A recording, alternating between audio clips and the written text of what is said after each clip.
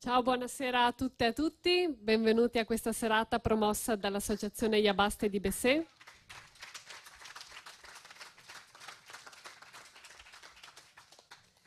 Sono Francesca di Iabasta Trento. Iabasta Trento insieme a Iabasta Venezia e Iabasta Treviso ha dato vita a Iabaste di Bessé, un'associazione che, come vedete dal nostro logo, vuole mettere insieme quella che è la nostra storia, la nostra esperienza più forte, che è quella in Messico, in Chiapas, e anche unire quella che invece eh, vuole essere il nostro presente, il nostro futuro, con le esperienze che, di cui parleremo questa sera, soprattutto in Kurdistan, Rojava e Kobane. Ci sono anche proprio nel logo i colori che ricordano queste esperienze, dal Messico alla Rojava. Questa sera parleremo di queste due aree del mondo, aree che ci interessano molto, che abbiamo eh, avuto modo di conoscere, eh, il Messico più, eh, nel periodo più, più, lontano fino ai giorni nostri, la Rojava e Kobane nel periodo più recente e che sono zone che ehm, ci interessano, che abbiamo nel cuore per moltissimi motivi. Il Messico ormai da, da molti anni eh, l'abbiamo attraversato e abbiamo in, intrecciato più volte le esperienze di lotta, in particolare del Chiapas e degli zapatisti, eh, a partire dalla nascita delle ZLN, a partire dall'insurrezione zapatista del 94 fino ad arrivare alla nascita dei caracoles zapatisti, per poi seguire anche tutte le vicende che riguardano il Messico più attuale, di cui parleremo questa sera, come ad esempio la vicenda della sparizione dei 43 studenti ad Ayotzinapa. Kobane e la Rojava sono, fanno parte del, del, nostro percorso più recente, abbiamo avuto modo con una staffetta e con alcuni viaggi di conoscere quelle realtà in resistenza. Siamo eh, Yabaste di Bessé, eh, abbiamo voluto unire il, il, grido degli zapatisti ya basta, adesso basta, con eh, una parola che significa lo stesso, adesso basta, però in curdo, proprio per unire le esperienze del Messico e eh, della Rojava eh, in quello che vuole essere il nostro presente, il nostro percorso attuale, ma anche futuro. Siamo in basso a sinistra, come dicono gli zapatisti, vogliamo intrecciare tutte quelle esperienze di lotta, di resistenza, di costruzione della democrazia, della difesa dei beni comuni che eh, attraversano sia eh, le zone del Sud America, ma per spostarci poi anche in, uh, in luoghi nuovi come uh, sono quelli che abbiamo attraversato in Kurdistan e poi anche con uno sguardo a quelle che sono le lotte più locali dei nostri territori. Questa sera quindi parleremo di Messico e di Rojava. Innanzitutto vi presento i nostri ospiti eh, con cui parleremo questa sera. Parto da Riccardo Bottazzo, giornalista di varie testate, tra cui Global Project, Yabasta, Eco Magazine. Questa sera eh, Riccardo intervisterà per noi il nostro secondo ospite, Fabrizio Lorusso. Eh, Fabrizio è un giornalista freelance, vive a Città del Messico ormai da quasi 14 anni e mh, mm, è eh, tra i redattori di Carmel Online, insegna storia dell'America Latina all'Università di Città del Messico, l'UNAM, e questa sera presenterà insieme a Riccardo il suo libro recentemente uscito, Narcoguerra, cronache dal Messico dei cartelli della droga un libro che parla di, del volto nascosto del Messico, quello che eh, i media eh, mainstream non ci raccontano, quello delle morti, delle sparizioni forzate, eh, delle, della collusione tra lo Stato e il narcotraffico, ma anche il Messico, quello sano, come dicevamo prima, il Messico che protesta. Quindi dopo parleremo anche del, del suo libro. Passo poi eh, al nostro terzo ospite, Murat Bai, è giornalista e attivista eh, curdo. Eh, con lui faremo subito un aggiornamento su quello che è successo questa notte proprio a Kobane, infatti subito dopo questa presentazione gli lascerò la parola. Karim è con noi anche questa sera come eh, ospite non previsto, ma siamo molto contenti di averlo eh, insieme a noi. E anche lui, con lui faremo una breve analisi di quello che eh, sta succedendo attualmente nelle zone del Kurdistan. Eh, Karim è stato per tre mesi a combattere l'ISIS proprio nella zona di Kobane. Ci sposteremo poi sempre eh, in, in, quelle zone insieme a Camilla, ci presenterà il libro eh, di Rojava Colling, il libro Kobane Diario di una resistenza che racconta proprio il viaggio e la staffetta di solidarietà concreta che si è succeduta negli ultimi mesi proprio in quelle zone e poi insieme a Marco Sandi racconteremo il progetto di eh, Rojava Playground, la costruzione, il, il, contributo che vogliamo dare alla costruzione di sei aree ludico-sportive nella zona di Suruc. Con Christian dell'associazione Iabasta Venezia parleremo di quello che è uno dei nostri progetti eh, più imminenti, ovvero il viaggio eh, nel Messico eh, desaparecido ma anche ribelle che eh, come associazione Iabaste di Bessé eh, stiamo costruendo per il mese di agosto. Cristian ci racconterà come è strutturato il viaggio e poi inviterà tutti voi a partecipare. Per cominciare lascio subito la parola a Murat. Questa notte eh, tre autobombe sono esplose al confine eh, intorno a Kobane e eh, con lui vogliamo avere appunto degli aggiornamenti proprio su quello che è successo. Visto che pochi giorni fa invece avevamo ricevuto una bella notizia, quella della liberazione eh, di, non mi ricordo la città, il, la pronuncia della città, Tai, Tal, uh-huh. sì, e invece purtroppo questa notte improvvisamente è arrivata invece una, una notizia che, che ci ha colpito molto. Con Murat vogliamo sapere che cosa è successo e se ci vuoi raccontare quali sono gli ultimi aggiornamenti che arrivano da lì.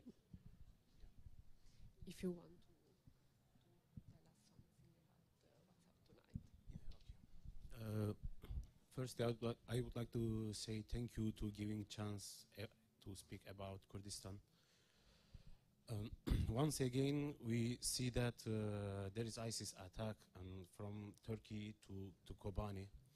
And before that, maybe it's better to explain uh, what happened to last week and in the Rojava.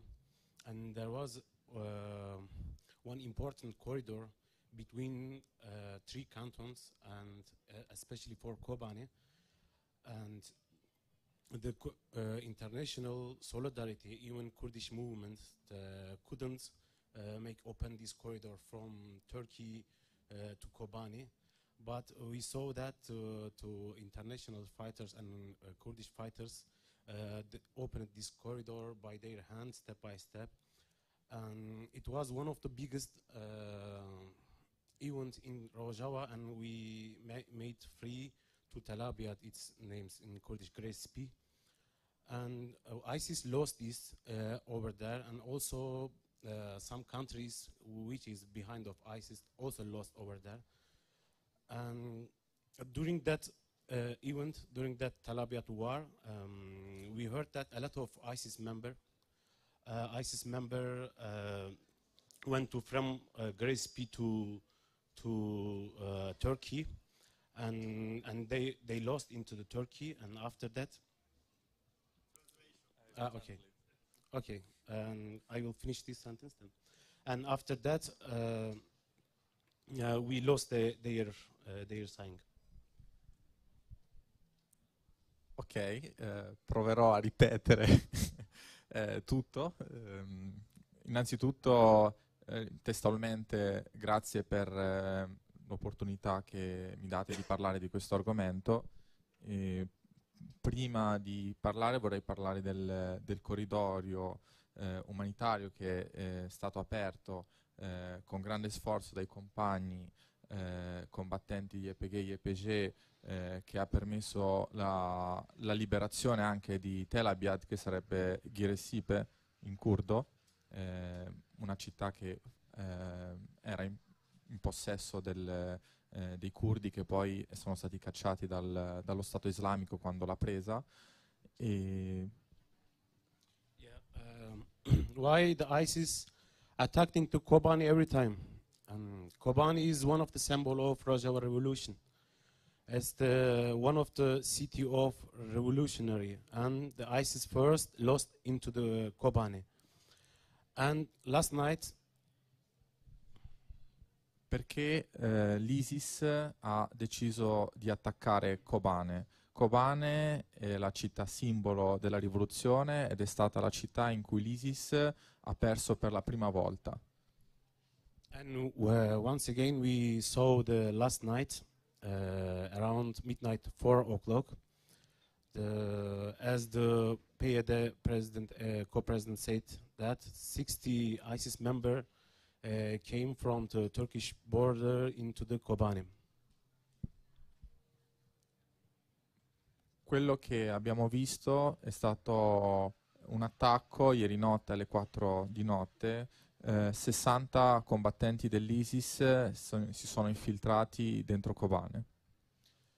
Yeah, in f- five different points they attacked it, and first they came to midnight, and I just called to some of my friends in Kobani, and I told them what happened over there, and she explained that the some of members came to from the border and in into the dark the, before the bomb exploded. Actually, they joined uh, to a lot of flat and killed the civilian people. Quello che è successo è dopo essersi infiltrati da cinque punti differenti eh, a mezzanotte hanno iniziato ad attaccare eh, la popolazione civile eh, causando tantissime perdite eh, appunto fra, fra proprio i civili del- di Kobane. And also uh, during midnight, they attacked the one village. It's uh, I don't remember its name, and they killed more than 20 civilian people over there just last night. Oltre a questi attacchi causati da autobombe, hanno attaccato anche in un villaggio ehm, sempre civili, uccidendo più di eh, 30 fra uomini e donne. And they used uh, Free Syrian Army uniform and also their uh, pickup and their cars. And that's why it's easy to. It was easy to travel inside and Kobani and also countryside of Kobani. Tutto questo è stato possibile perché hanno utilizzato dei travestimenti, si sono travestiti da libero esercito siriano e questo gli ha permesso di poter circolare liberamente sia all'interno della città che nella campagna circostante.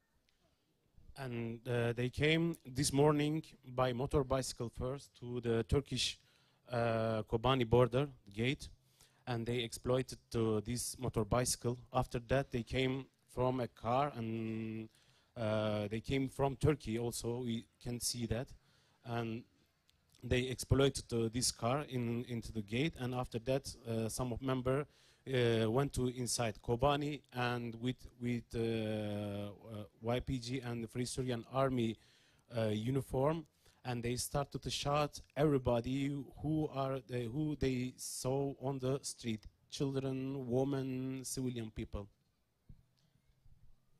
Poi durante la mattina ehm, hanno attaccato con un attacco suicida in una motocicletta facendola esplodere eh, al confine, ehm, nel, eh, sulla porta di confine e poi hanno attaccato con eh, autovetture sempre provenienti dalla Turchia facendolo esplodere anche quelle al confine. Dopodiché sono riusciti ad entrare sempre dal confine con eh, veicoli eh, travestiti da eh, Libero Esercito Siriano e YPG e hanno iniziato ad aprire il fuoco sulla popolazione civile in maniera di- indiscriminata. And uh, where is the fight is still going on into the Kobani right now, and but uh, as the YPG uh, press uh, told that they already killed more than 30 uh, ISIS members, but some of the ISIS members took to some civilian people and brought that to to, to Kobani hospital. That's why uh, ISIS cannot shout to uh, them, and they cannot use their uh, big weapons to against this situation. Questo attacco, nonostante eh, abbia già causato 30 membri dell'ISIS siano già morti, ehm, l'ISIS ha iniziato a prendere ostaggi, si sono barricati in un ospedale e da lì stanno continuando ad attaccare.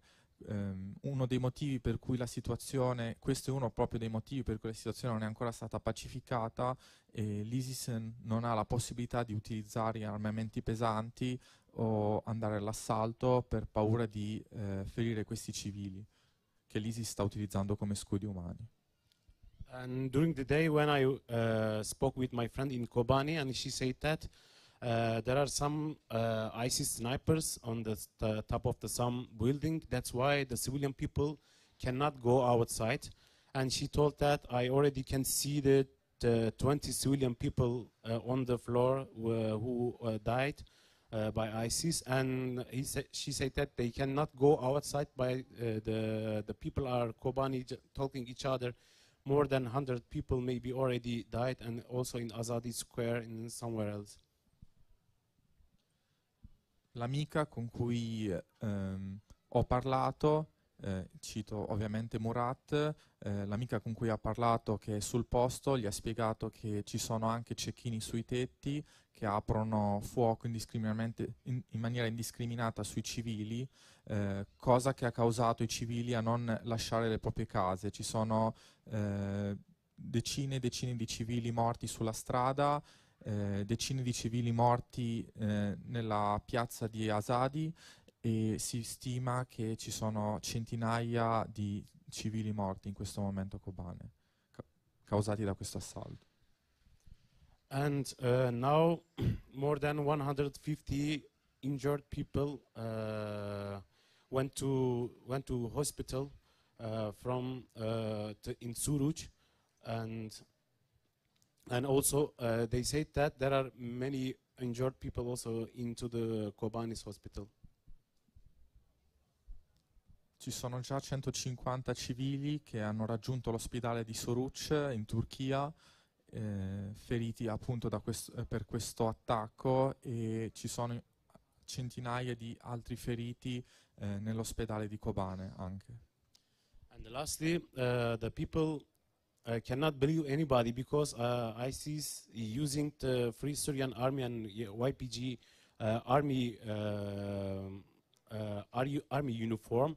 That's why they, they don't know who is the YPG, uh, who is the ISIS, and it's the kind of panic actually. That's why uh, they are into the their flat and they don't know what they will do in to tonight.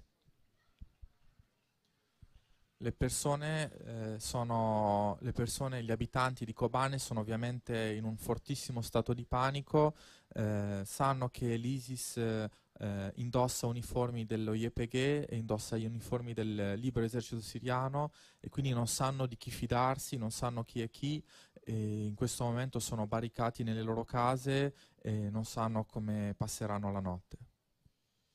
Now, uh, there are so many information still coming from uh, Kobani, but uh, we want to talk about just uh, which is we, we are sure. But um, I saw a lot of picture from Kobani uh, today. Uh, maybe it's not good to say, talk about that, but I get hurt, and that's why I want to say those picture. Nobody can explain to me to to people, to men who has the one hand of uh, his daughter, head of his daughter in his hand. And there are a lot of children, really a lot of children uh, into the flats in their bed, and we can understand they were sleeping when the ISIS attacked them.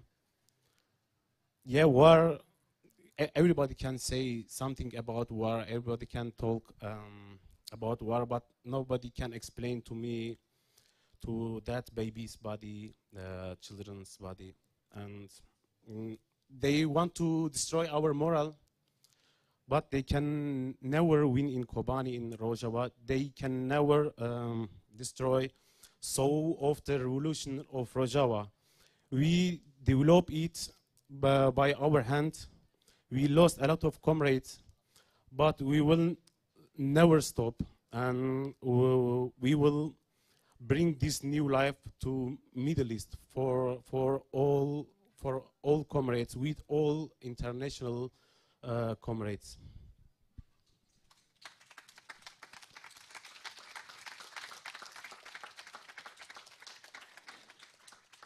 Ci sono molte informazioni che eh, stanno uscendo fuori, ma eh, voglio parlare di quello che so con certezza, di quello che ho visto e le foto che ho visto sono di tanti bambini eh, che giacciono sul pavimento, tanti bambini che giacciono sui loro letti morti.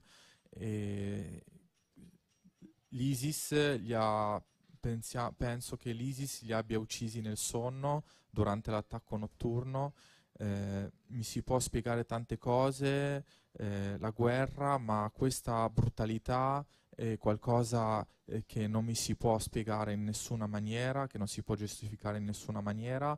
Eh, questa, ehm, questo atto atroce è stato fatto per distruggere il nostro morale, per distruggere lo spirito eh, del Rojava, lo spirito della rivoluzione, ma con questi atti non distruggeranno mai la nostra rivoluzione, non distruggeranno mai la nostra idea di Rojava e noi facciamo questo, siamo compagni eh, e anche dal punto di vista internazionale noi non cederemo mai un passo, eh, soprattutto anche per tutti i compagni che hanno sacrificato la loro vita per questo eh, esperimento.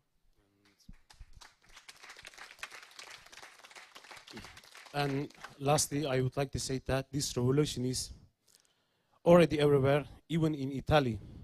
I can see around of me this revolution and uh, busy Kobani and busy resistance of uh, Rojava and busy our revolution. Questa rivoluzione è ovunque e posso vedere che qua anche in Italia eh, viva eh, la rivoluzione, viva Kobane, viva Rojava. Grazie. Io ringrazio moltissimo Murat per questo aggiornamento, sappiamo che lui è in contatto diretto con Kobane, quindi eh, vediamo se nel corso della serata ci saranno altri aggiornamenti o comunque tramite il sito di Global Project eh, vi, vi faremo sapere al più presto quello che sta accadendo. Io chiedo una brevissima analisi di quello che sta succedendo attualmente in quei luoghi a Karim e anche un breve commento su, uh, su questi ultimi fatti. Innanzitutto mi scuso per la mia pessima traduzione, eh, sfortunatamente non sono riuscito a, a, tradurre perfettamente quello che ha detto Murato, ho provato del mio meglio. E per quanto riguarda quello che sta succedendo adesso, eh, mh, la situazione è questa. Eh, ad oggi l'ISIS ha perso a Kobane contro lo YPG, l'ISIS ha perso a Sinjar contro lo YPG, l'ISIS eh, sta perdendo terreno in continuazione contro lo YPG ovunque nel nord della Siria. Seppur ha conquistato Ramadi, seppur ha preso Palmira, l'ISIS sta continuando a perdere terreno senza mai riguadagnarlo. I compagni e le compagne dello YPG e YPG non hanno mai fatto un passo indietro. Da quando hanno liberato Kobane non hanno fatto altro che avanzare. E dopo la liberazione di Tel Abyad, Kobane e Jazira si sono riunificate, Tel Abyad è stata circondata le truppe dell'ISIS sono scappate con il favore della notte tutte dall'altra parte eh, della Turchia. Quindi il giorno dopo le truppe YPG, YPG e l'FSA, questa coalizione che ha preso il nome di Vulcano dell'Eufrate, ha trovato Tel Abyad completamente sguarnita e l'ha potuta liberare, eh, senza sparare un colpo. Da quel punto in poi è iniziata l'avanzata verso Raqqa, la capitale eh, dello Stato islamico in Siria eh, un'avanzata inesorabile che ha continuato fino a che non si è arrivato a Ain Isa, che è l'ultima città a sbocco eh, dopo di cui c'è la capitale dello Stato islamico. Quindi eh, sono già stati presi territori nel governatorato di Raqqa e veramente i compagni e le compagne dello YPG e YPG sono alle porte della capitale dello Stato islamico.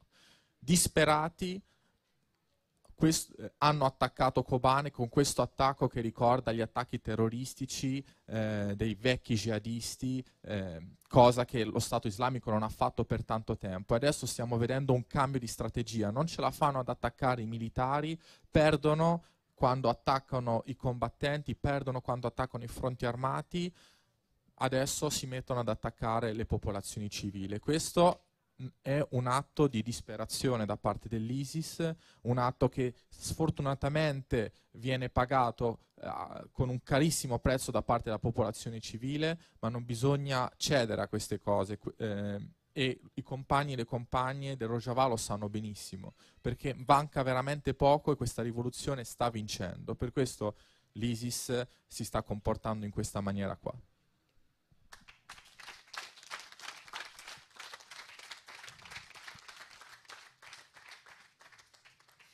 Ringrazio anche Karim per il suo commento. E dopo questo aggiornamento da Kobane ritorniamo eh, per un po' in Messico e lo facciamo insieme a Riccardo Bottazzo e Fabrizio Lorusso. Come dicevamo all'inizio, eh, Fabrizio ha scritto un libro che eh, parla proprio del, del Messico attuale, eh, di quello che non si vede passare sulle televisioni mainstream, eh, i desaparecidos, i, i morti, eh, ma anche eh, la collusione tra quello che è lo Stato e il narcotraffico, però anche eh, il Messico che resiste e che protesta. Insieme a Riccardo quindi eh, possiamo, chi c'era già prima ha, ha avuto un'anticipazione di quello che è il libro e di quello che è un po' il contesto attuale messicano. Continuiamo con qualche altra domanda per approfondire un po' cosa sta succedendo in Messico e anche per magari eh, capire un po' meglio cosa racconta il libro di Fabrizio il libro di Fabrizio racconta giustamente quello che hai detto tu, il Messico che non, si, che non, che non viene visto attraverso i nostri, i nostri giornali, nostre, le nostre televisioni, ma poi alla fine è che il Messico è quello più vero. Eh, il libro che ho letto con molto piacere e con altrettanto piacere presento si chiama Narcoguerra, eh, cronache dal Messico dei cartelli della droga, editore Odoia. Il prologo è una garanzia, Pino Cacucci, quando si parla di Messico non c'è altro come, come lui. Ecco, l'autore qui vicino a me, è il nostro amico Fabrizio Russo, in cui mi sono incrociato diverse volte nei vari appuntamenti in Messico, qualche caracollo, con le feste con i zappatisti, oppure qualche iniziativa come l'ultimo festival della Rebeldia, ci siamo incrociati, oppure anche e soprattutto anche dietro ai, l'ultima volta che ci siamo visti era un incontro con i parenti, con i familiari delle vittime di Ayotzinapa. E, sì, io direi che il libro, dico solo una cosa, che eh, non ce ne sono altri così nel panorama italiano eh, qualche mese fa ho dovuto fare un'inchiesta per l'Ordine dei giornalisti del Veneto e se, se Fabrizio l'avesse pubblicato con qualche mese di anticipo mi avrebbe risolto un bel problema perché ho guardato e non c'è niente di simile. Ecco, e un libro un'inchiesta, di solito quando si presenta un'inchiesta giornalistica si dice sempre che si legge come un romanzo. Ecco, in questo caso, solo in questo caso è vero, di solito no.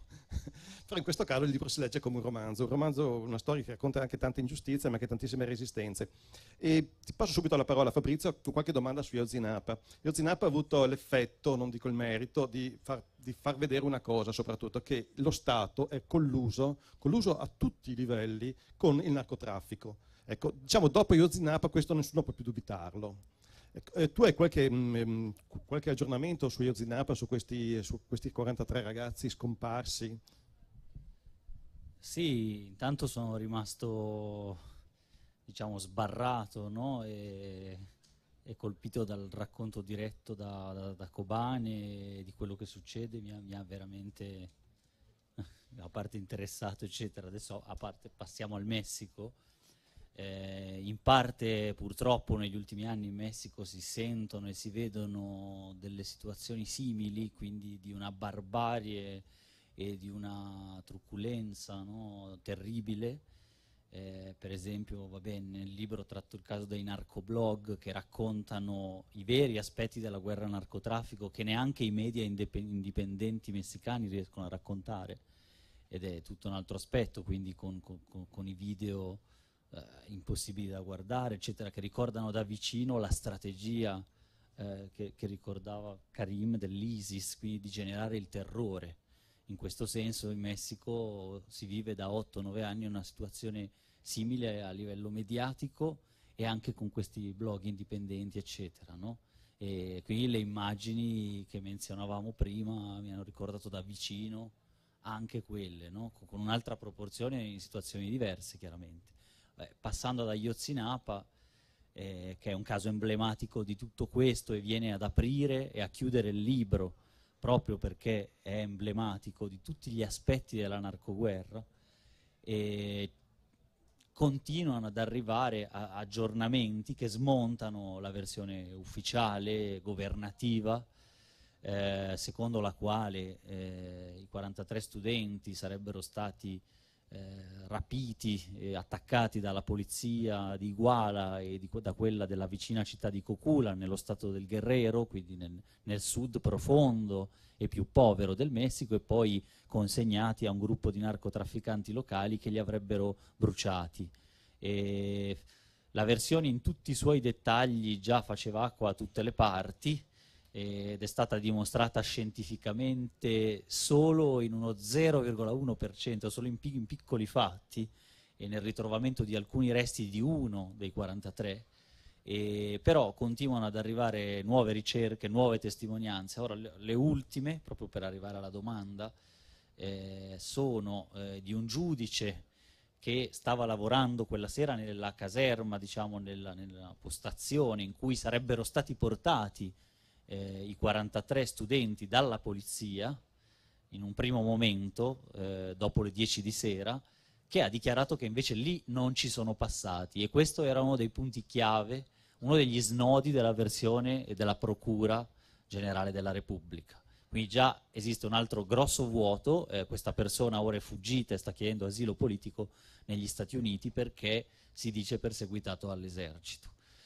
E quindi queste sono notizie fresche, in Messico c'è sempre tempo per eventuali smentite eccetera, ma ecco in generale sono fonti abbastanza attendibili nel senso che la rivista Processo, eh, per esempio la giornalista Annabelle Hernandez. Un'altra diciamo così novità è stata quella dell'infiltrazione di un membro dell'esercito, quindi di un soldato, tra i 43 desaparecidos di Ayotzinapa, per cui si è ritrovato che il nome di uno di loro corrispondeva a un soldato. La, il Ministero della Difesa ha, dato, ha fatto conoscere queste informazioni in più, per cui da una parte eh, si conferma il fatto che le scuole rurali, le scuole normali rurali e soprattutto in quei territori sono infiltrate, cosa che già si sapeva ma ora è stata riconfermata ufficialmente. D'altro canto ci sono molti dubbi su questa questione del militare studente, eh, perché va verificata, perché si tratta per ora solamente di una coincidenza di nomi e di, un, di una dichiarazione ufficiale che potrebbe essere arrivata come per dire guardate che anche noi dell'esercito siamo vittime in questo senso, quindi ci sono molti sospetti sulle versioni ufficiali in Messico per un altro fenomeno di cui parlo, che è emblematico tanto di Ayotzinapa come di altri casi importanti e, e di decine di migliaia di altri casi eh, legati alla cosiddetta fabbrica dei colpevoli, quindi a un sistema giudiziario e di polizia e repressivo, quindi perverso, che tende a creare prove, a creare colpevoli, che non funziona, che eh, ottiene un risultato che è il 97% di impunità nei reati, e che quindi è, è, è, è diciamo, distruttivo e che tende a colpire selettivamente eh, attivisti, persone in vista in questo senso o anche addirittura casualmente. No? Quindi in questo senso eh, c'è sempre da dubitare delle versioni ufficiali e dubitare tanto ha fatto sì che nel giro di sei mesi siano venute fuori tante altre versioni rispetto a Yotzinapa. No? Sì, sì, mi ricordo di aver sentito, non so, perlomeno una decina di versioni diverse, dove avevano buttati prima in acqua, poi li avevano bruciati su una discarica, poi ogni volta cambiavano le, le versioni ufficiali. E, ehm, sì, quello che dicevi prima, c'è un capitolo bellissimo nel tuo libro con un bel titolo, Ministero della Pubblica Insicurezza e Fabbrica dei Colpevoli, no? Si potrebbero tracciare in qualche parallelo anche con l'Italia, però eh, continuiamo a parlare del Messico, per carità. Eh, senti, di, di, Fabrizio non ho detto che è un giornalista, è un freelance che collabora con il Huffington Post in Italia, ma anche con moltissimi giornali di, eh, messicani e che da 13 anni e mezzo, mi puntualizza, si è trasferito a Città del Messico dove insegna anche nella facoltà della, della storia nell'università eh, l'UNAM di Città del Messico. Um, senti, parlando di Yozinapa, io ho visto che quando ne parlo qui in Italia non tutti sanno esattamente cosa sono queste scuole rurali, no, che sono state fondate addirittura da, da Emiliano Zapata no, nella prima Costituzione. E ci vuoi raccontare un attimo perché sono stati colpiti i ragazzi della scuola rurale di, di Euzinapa, ma in generale i ragazzi delle scuole rurali sono in qualche modo sempre stati nel mirino di narcotrafficanti, i loro maestri anche? Sì, in particolare quelle del Guerrero hanno una lunga tradizione di militanza politica, vengono fondate negli anni 20 e 30 e consolidate con il presidente Lazzaro Cardenas tra il 34 e il 40 come progetto di educazione socialista, quindi un'educazione che doveva eh, in qualche modo essere rivolta ai futuri maestri, insegnanti delle scuole dell'obbligo, eh, rurali, è una scuola normale rurale, e eh, con una visione del mondo che a partire dagli ultimi 30-40 anni, magari anche da prima, ma ecco in Messico con l'adozione del modello neoliberista o neoliberale applicato a tutti i settori della vita delle persone, non solo dell'economia, ma ormai di tutta la società, è venuto meno, quindi è, è, in qualche modo restano come dei pezzi anacronistici in un sistema educativo che si cerca di smantellare.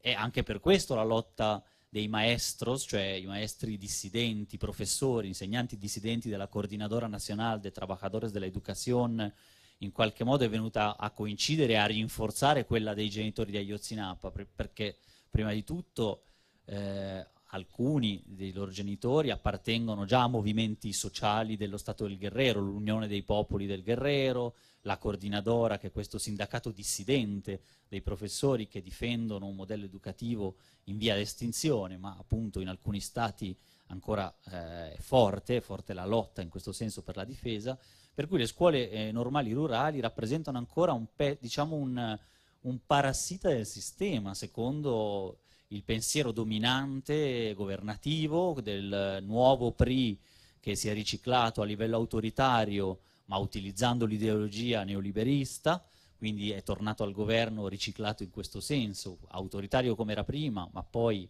neoliberista in tutti gli altri aspetti della vita sociale e economica, e quindi è un modello che va combattuto, come i maestri, i professori dissidenti, come i movimenti sociali e le domande di più democrazia o di salario o di rivendicazioni per la difesa dei beni comuni sul territorio che vengono stroncate in questo senso. Gli studenti a Yotzinapa eh, sono parte di questa categoria, sono tra l'altro parte di una categoria, potremmo definirla sociale ben definita, se non etnica. Per questo si è parlato anche di crimini di lesa umanità in questo senso e di aspetti legati a un possibile genocidio della popolazione identificata per delle caratteristiche specifiche. Ecco, eh, nel Guerrero questo, questa cosa è stata anche discussa e più o meno è, è pacifico che si possa trattare di un caso di questo tipo in cui lo Stato agisce deliberatamente no, contro certe categorie. No? Perché alla fine la guerra per, eh, contro il narcotraffico è una guerra per la democrazia, come tu spieghi esattamente. Perché se lo Stato non fa la guerra o la fa diciamo, molto debolmente, qualche volta anche è lui stesso, il narco, il narco eh, fanno parte con i, mm, sono loro stessi insomma, i mandanti dei narcos, Ecco, e soprattutto con l'esercito, no? mi diceva prima che molte delle persone che si formano come combattenti, che fanno i militari per i gruppi di narcotrafficanti, sono alla fine sono persone che hanno fatto gli stage eh, di, formativi sugli Stati Uniti d'America, vengono dei corpi speciali dell'esercito. Ecco, eh, però ci sono dei nemici, di narcotrafficanti tu hai puntualizzato che ci sono anche dei nemici. Ecco, i, per esempio sono gli zapatisti, ci sono i movimenti del basso che sono i veri nemici del narcotraffico, giusto? In un certo senso sì, eh, e più che altro sono osteggiati e combattuti a loro volta da entrambe, entrambi i monopoli della forza e delle forze armate in Messico, che sono lo Stato e i narcos, no? e un sistema giuridico che poi tende in qualche modo a essere debole con i più forti, i più forti legati a apparati di Stato a tutti i livelli, ma poi anche i più forti a livello di, di armi e quindi di potenza di fuoco eh, come i gruppi della delinquenza organizzata. No? Quindi in questo senso eh, è su due fronti, si vede chiaramente nella situazione ciapaneca, cioè nella parte sui movimenti sociali, eh, ritratto il caso del cosiddetto risveglio, che poi non era un risveglio ma è stato una, un riallacciare reti dell'esercito zapatista di liberazione nazionale e delle basi, e quindi il rilancio delle squelitas e tutta questa fase che parte alla fine del 2012 con la marcia dei 40.000, la marcia del silenzio. Eh, sono delle macchie zapatiste eh, in uno Stato, eh, il Chiapas, dominato da una politica eh, becera di un monopartito verde legato al PRI, quindi al partito di governo, in uno Stato militarizzato, ma chiaramente gli zapatisti lo denunciano dall'inizio, anzi dagli anni Ottanta ad oggi, ma che con la scusa della guerra al narcotraffico ha potuto rifocillarsi in questo senso, cioè eh, esisteva già la militarizzazione dei territori, è stata adottata ora come politica di Stato contro, teoricamente contro le droghe, ma poi effettivamente contro qualunque esperimento eh, differente, di dissidenza. E infatti parlo, per esempio, eh, anziché militarizzare la, la, lotta ai cartelli, eh, probabilmente era più facile andare a vedere dove gli esperimenti di, di annullamento o comunque di eliminazione dell'uso di stupefacenti e anche di alcolici più o meno funzionano, cioè per esempio le comunità zapatiste, dove questo non esiste e invece a fianco trovi delle realtà in cui i militari proteggono le coltivazioni nelle tierras calientes, di, eh, quindi nelle terre dove, dove questa cresce, eh, di marijuana, eh, di, di, oppio, di papavero d'oppio, eccetera. No? Quindi un, c'è un commercio più o meno gestito eh, anche dalle forze dell'ordine. D'altronde è parte della storia del Messico, perché vedo un po' anche quello più, più rapidamente nella parte sui narcos, eh, cioè eh, in origine i cartelli erano dei contrabbandieri eh, fondamentalmente protetti dai governatori degli stati del nord, quindi del Sinaloa, eccetera, che eh, permettevano e anzi gestivano loro stessi il commercio degli stupefacenti, soprattutto durante la seconda guerra mondiale negli Stati Uniti, eccetera, perché c'era un bisogno effettivo, soprattutto di morfina, eh, in quelle terre per, per, uso bellico, insomma, per i soldati. No? Quindi parte da lì, quindi parte da un connubio politico eh, narco. Sì, una delle chiavi di lettura del tuo libro è proprio quella di, del, dell'idea stessa della guerra alla, narcom, alla, alla narcomafia, no? l'idea stessa di fare che, che, è perdente, che, è perdente, perché abbiamo già visto che, eh, che, narco, che quelli stessi che fanno la guerra alla narcomafia alla fine sono sempre persone che hanno interesse nella stessa narcomafia, no? come fai vedere nel caso degli Stati Uniti d'America, no? che hanno usato la, narco, la guerra ai narcos per fare, per produrre ingerenze negli stati come la Colombia e come il Messico, dove, tra l'altro dove stati dove il narcomafia, il narcomafia poi hanno prosperato. Ecco, a questo punto eh, faccio un'altra domanda, facciamo un altro giro. Benissimo. Io ringrazio Riccardo e Fabrizio per questo approfondimento sul Messico. Eh, loro...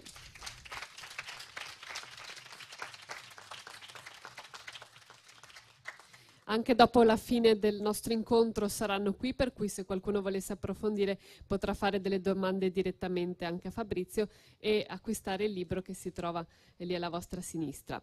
Eh, rimaniamo in Messico insieme a Christian. Quest'estate saremo proprio in Guerrero e in Chiapas con un viaggio che vuole andare a conoscere queste realtà in resistenza. Chiedo a Christian di raccontarci quali sono le tappe di questo viaggio, quando si terrà e poi eh, il significato di, di, questo viaggio che vogliamo lanciare come gli Abaste di Bessé. Allora, ciao a tutti, sono Christian appunto.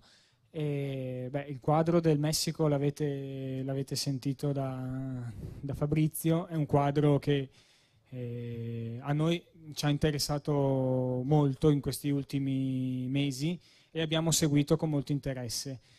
E abbiamo pensato che è, una, è un'occasione di, di esplorare, di, ricon- di, conoscere nuovamente il, Me- eh, il, Messico, quella di andare giù quest'estate, eh, perché è, mh, è, veramente sta succedendo qualcosa che è anche, se vogliamo, un po' nuovo. No? I fatti di Ayotzinapa hanno in qualche modo hanno risvegliato anche il, la società civile, i movimenti e, e, quindi crediamo che sia utile anche per noi eh, costruire dei rapporti che possono, so, possono in futuro essere, essere utili per entrambi. E, Crediamo inoltre che appunto con questi mh, 43 studenti scomparsi e con, e con, i sopravvissuti dobbiamo essere assolutamente solidali e, e portare la nostra, la nostra vicinanza. E I sopravvissuti eh, hanno fatto, hanno, mh, i genitori hanno costruito delle carovane durante questi mesi eh, carovane che hanno attraversato tutto il Nord America, il Sud America e anche l'Europa. Sono stati a Milano in aprile i genitori e gli studenti di Ayotzinapa e, e, crediamo sia giusto contribuire anche noi alla loro lotta, alla, alla loro richiesta di, di, giustizia, di verità, di sapere dove sono i, i propri compagni, i propri figli, andando a, a portare la nostra solidarietà appunto.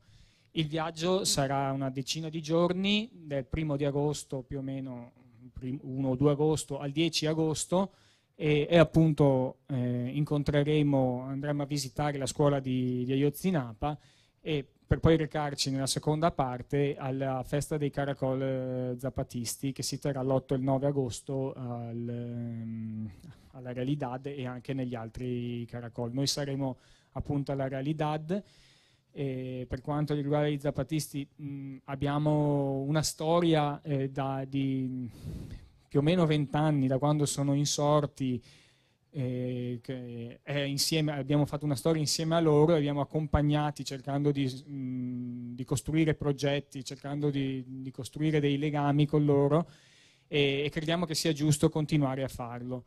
Eh, per questo appunto cercheremo di, di incontrare, vogliamo incontrarli, vogliamo proseguire questo cammino insieme agli zapatisti che è stato uno dei, dei, dei movimenti che, che, più ci ha eh, illuminato ne, nel passato ciclo di, di, lotte. Ecco, questo è un po' il, il nostro intento, cercheremo di, di fare un viaggio che porti delle esperienze nuove anche a tutti i compagni che vogliano eh, partecipare, che spero che, eh, che, siano molti, e anche a chi eh, magari non, non, ci conosce o non conosce queste realtà, invece ha desiderio di conoscere appunto che cos'è il Messico, appunto come dicevamo prima, invisibile, quello che appunto nelle agenzie di viaggi non si trova. Tutto qua.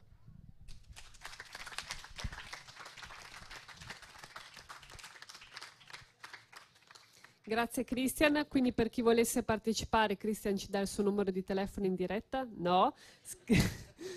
e basta scrivere una mail a info-yabastedibesse.it. Grazie Cristian per questo approfondimento sul viaggio che faremo quest'estate ad agosto in Messico. E, ehm, questa sera, come abbiamo detto, mh, vogliamo parlare di Messico, ma anche di Rojava. Queste sono le due esperienze eh, che ci stanno più a cuore in questo momento e che abbiamo voluto anche eh, riunire graficamente nel logo di Yabasta e di Bessé. Ci sono i colori del Messico, i colori della Rojava, ci sono i simboli sia del Messico eh, sia del, di quella parte di, di Kurdistan che ci sta più a cuore. Ci sono le pannocchie, il paliacate zapatista, ma anche una, una donna che è eh, simbolo della resistenza e dell'unità di difesa proprio in Kurdistan. Questa è una, una, parte di mondo che stiamo seguendo con attenzione, che abbiamo anche attraversato eh, negli scorsi mesi. Proprio di questo vogliamo parlare adesso insieme a Camilla. E la eh, campagna internazionale di solidarietà Rojava Calling ha avuto modo di attraversare questi territori per portare solidarietà concreta. Da questo viaggio e da questa staffetta che si è susseguita nei mesi eh, scorsi eh, proprio nei, nei, territori in, in, Kurdistan, è nato un libro. Il libro è Kobane, diario di una resistenza. Sono proprio queste esperienze del, di staffetta e di viaggio eh, degli scorsi mesi. Chiedo quindi a Camilla di raccontarci un po' come è nato questo libro e mh, mm, che cosa eh, si propone di raccontare, che cosa si propone di, di far vedere eh, a chi lo legge.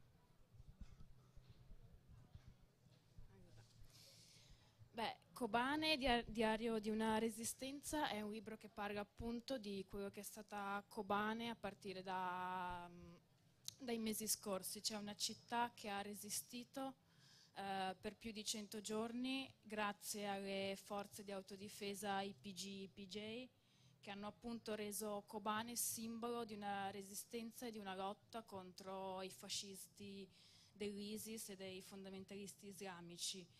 È stata una resistenza che ha difeso una città assediata, ma anche difeso degli ideali rivoluzionari che sono quelli del confederalismo democratico e della Carta della Rojava che ci parlano di una messa in discussione dello Stato-nazione ci parlano di ecologismo, di tutela dell'ambiente, ci parlano di mh, parità tra mh, le varie etnie e religioni che compongono una società e che ci parla di liberazione della condizione oppressa della donna.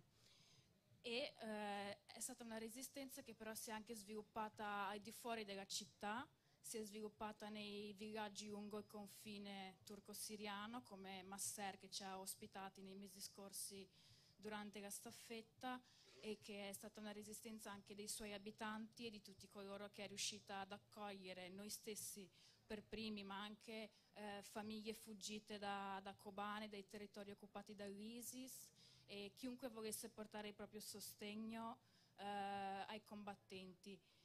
Ad esempio basti pensare anche a solo tutti i momenti di convivialità, i canti attorno al fuoco, le catene umane che si svolgevano ogni mattina, come riuscissero eh, anche solo con le proprie voci a dare il sostegno ai compagni, ai fratelli e alle sorelle che combattevano eh, al di là del confine.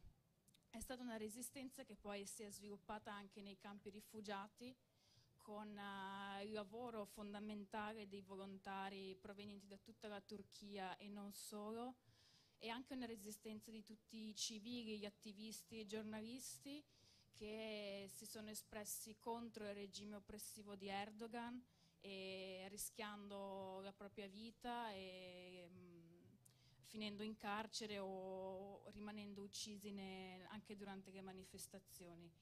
È una resistenza che noi abbiamo conosciuto andando a Kobane, a Masser e a Suruc e condividendo proprio con queste persone la loro quotidianità e potendo parlare con loro e che abbiamo appunto riportato in, uh, in questo libro.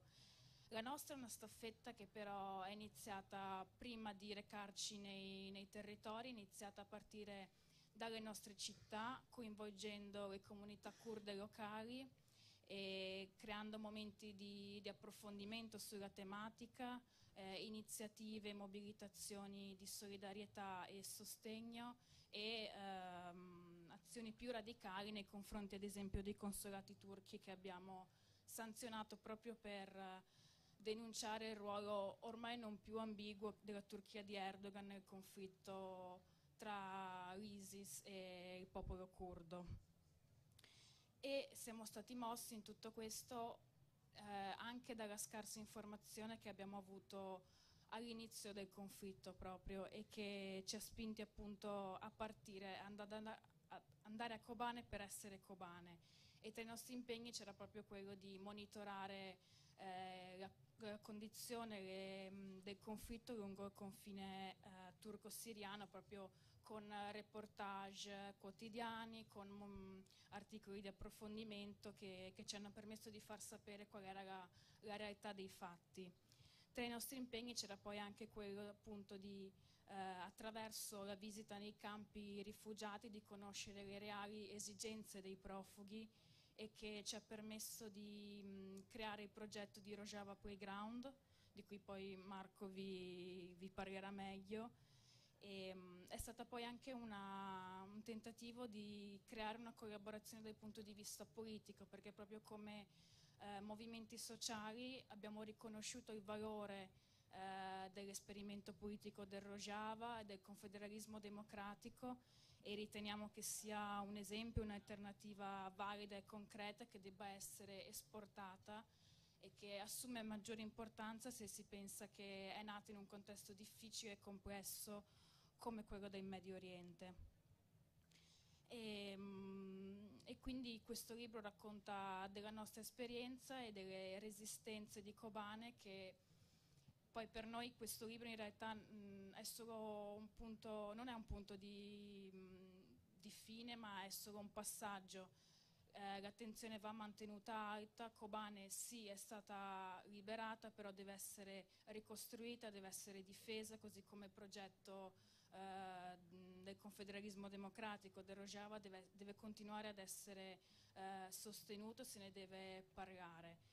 E in più attraverso questo libro, noi avendo raccontato tali esperienze, abbiamo voluto anche un po' prenderle ad esempio in una lotta al fascismo che va al di là de, um, di, una, di un confine temporale o spaziale, ma che riscontriamo anche nella nostra quotidianità.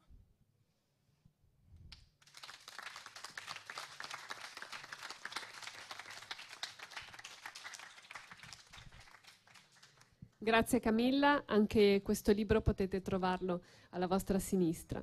E rimaniamo in, in, questa parte del mondo insieme adesso a Marco. Come Iabaste di Bessé vogliamo contribuire alla costruzione di un progetto, Rojava Playground, un progetto in accordo con la municipalità di Suruce che si propone di migliorare la vita dei cittadini di quella zona attraverso la costruzione di eh, sei aree ludico-sportive per i giovani di quelle zone. Chiedo a Marco di raccontarci in che cosa consiste il progetto e come possiamo contribuire. Buonasera anche da parte mia. Eh, permettetemi solo una battuta prima. Eh, sono molto emozionato di, che Camilla abbia presentato questo libro, eh, nonostante a pochi chilometri da qui qualcun altro stia presentando un altro libro eh, noi come Rojava Calling, eh, tutti i proventi di questo libro andranno ai vari progetti, eh, chissà se qualcun altro renderà, ci renderà partecipe dei, dei, suoi profitti. Era dovuta questa, scusa. Ehm, allora, io vi parlo di Rojava Playground. Nostri, mh, nella nostra ultima visita, appena dopo la liberazione di, di Kobane, a fine, giugno, eh, fine, giugno, sì, fine gennaio, eh, ci siamo resi conto che l'emergenza dei profughi, nei, dei rifugiati nei campi era ancora eh, nel suo punto più alto. Ehm, insieme alla municipalità kurda di Suruc ehm, abbiamo ehm, pensato e progettato ehm, eh, qualcosa da costruire nei, nei campi. Ci siamo resi conto che appunto la, la, situazione di emergenzialità che c'era ancora nei campi eh, andava affrontata. Eh, abbiamo pensato di costruire sei piastre ludico-sportive, come diceva Francesca, eh, che sostanzialmente sarebbero dei parchi giochi con dei campi eh, da calcio, da, eh, non da calcio, da basket, da pallavolo annessi. l'idea è quella appunto di portare lo sport e il divertimento in un luogo dove la guerra è ancora presente. Le notizie di stamattina ci parlano di um, uno, scenario, uno, scenario, che non, non, pensavamo fino a ieri sicuramente. L'obiettivo reale è quello di portare la cooperazione, oltre che la solidarietà che abbiamo portato in questi mesi, ma anche l'aiuto concreto. Costruire qualcosa che possa rimanere eh, ai, fratelli e alle sorelle kurdi, eh, sia in Turchia, eh, a Suruc, e il sogno sarebbe quello di costruirne uno anche a Kobane, all'interno della città. Ehm, l'obiettivo principale del, almeno secondo me, del, del, del playground è quello di, di aggregazione, mh, mm, cioè dare la possibilità a chi è fuggito da una guerra o chi sta fuggendo da una guerra tuttora di avere un, un momento, un'ora, due ore al giorno cui non, uh, in cui non pensare a, da, al contesto in cui si trova, di dare una possibilità anche eh, un luogo fisico eh, dove possa avvenire una socializzazione in un contesto difficile come quello appunto della guerra. Per questo eh, è stata avviata la campagna di raccolta fondi, eh, infatti ci sono sul tavolino dei libri i, i flyer, eh, i volantini con eh, le coordinate bancarie, in cui invito ancora una volta eh, a donare, a fare una piccola donazione, magari non piccola se potete ovviamente, più, più grande è meglio è. L'obiettivo è costruirne sei e vediamo se riusciamo a costruirne anche una e sarebbe già tanto. Legata alla, al, al, progetto di costruzione di queste aree eh, ludico-sportive a Suruc c'è anche quello della carovana. Mentre per il Messico, come diceva Christian, è già programmata, eh, la nostra idea era quella di eh, fare una carovana, di invitare, fare un invito aperto, eh, di costruire una carovana insieme, se legata alla realizzazione del playground. Se ci sono i fondi, partiremo tutti insieme a costruirlo e lasceremo qualcosa tutti insieme ai fratelli curdi. Se no, eh, tornerò io, come sempre, e con Momo. Eh, io concludo qui, visto che non serve altre parole, però vorrei invitare tutti domani, in questo luogo, all'interno dello, eh, dello Sherwood Festival, eh, a salutare e ad applaudire eh, Enver Muslim, co- eh, co-presidente del cantone di Combane, e Nasrin Abdallah, comandante delle forze di EPG, eh, che saranno qui presenti in, che sono in, in visita in Italia. Eh, invito tutti a, ad esserci. È importante salutare e celebrare i nostri eroi. come Karima anche. Grazie.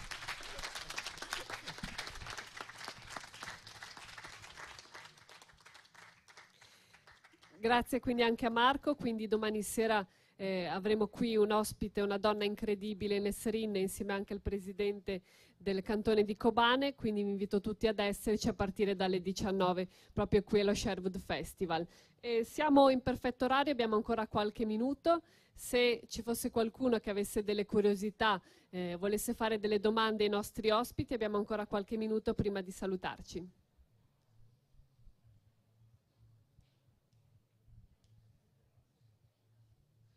Siete tutti timidi? Quindi forse Riccardo ti vedo... No. Allora vi ringrazio per essere stati qui questa sera, per aver sostenuto l'associazione Iabasti di Bessé in questa eh, presentazione pubblica.